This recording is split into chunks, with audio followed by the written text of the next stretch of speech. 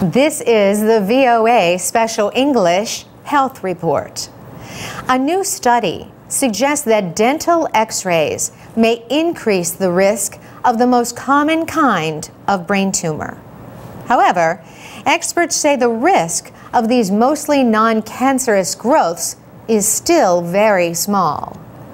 The study compared about 1,400 patients with a brain tumor called a meningioma to a group without brain tumors. Dr. Elizabeth Claus of Yale University led this study.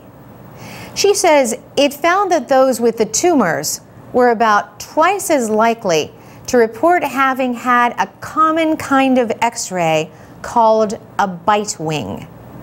The link was greater with a kind of imaging called a panoramic x ray. There was up to five times the risk, depending on age or how often the x rays were taken.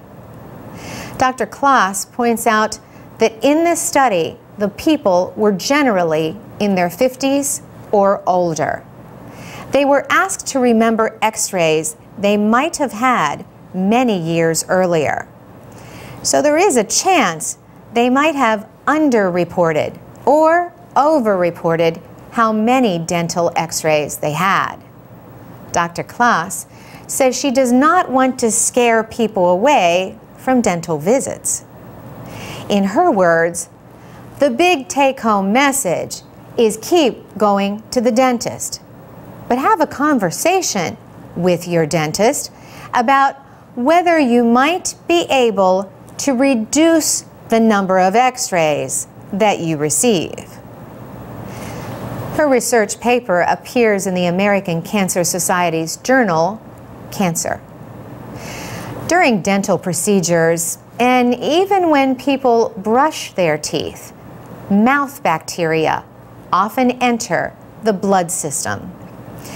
A popular belief is that gum disease can lead to heart attacks. But the American Heart Association recently published a statement saying there is no scientific proof. The statement, appearing in its journal Circulation, says gum disease has not been proven to cause heart disease or stroke.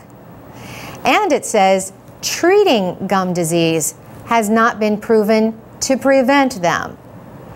There is also not enough evidence to know whether brushing and flossing regularly can prevent heart disease. A committee of heart doctors, dentists, and infectious disease specialists considered 500 journal articles and studies.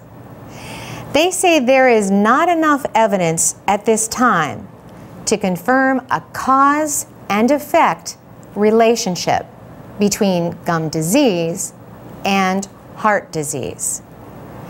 Both diseases are often found in the same patient. But the experts say this is possibly because of risk factors common to both diseases. People who do not pay attention to risk factors like smoking, diabetes, or high blood pressure may not pay close attention to their oral health either.